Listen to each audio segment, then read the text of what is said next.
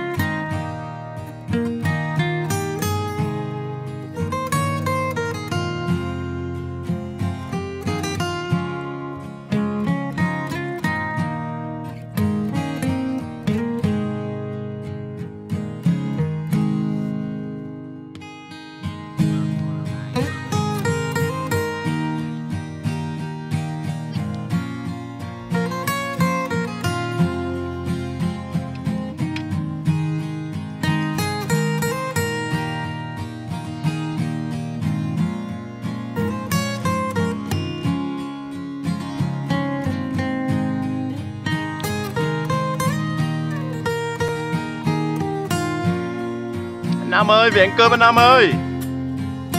Tiếng này trên đĩa luôn á. Tao bố à.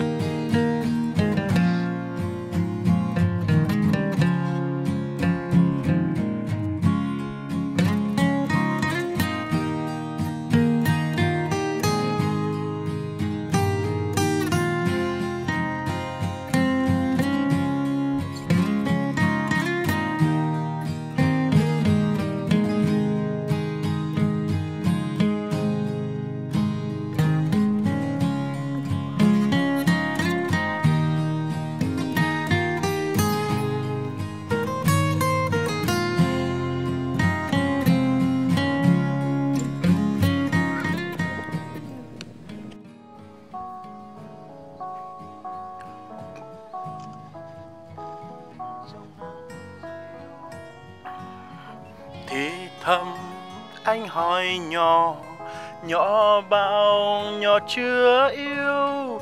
Ừ thì nhỏ chưa yêu. Nhỏ ơi.